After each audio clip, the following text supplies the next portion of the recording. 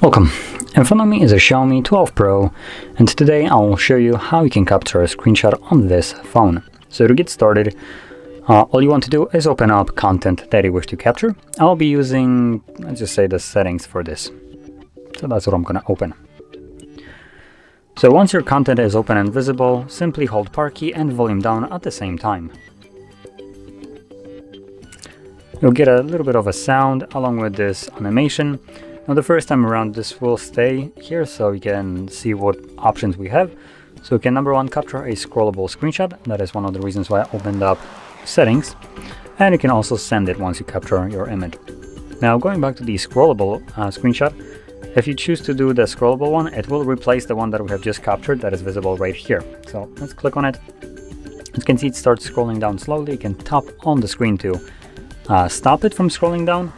And you can also do it yourself manually. Once you have done however far down you want, you can select done.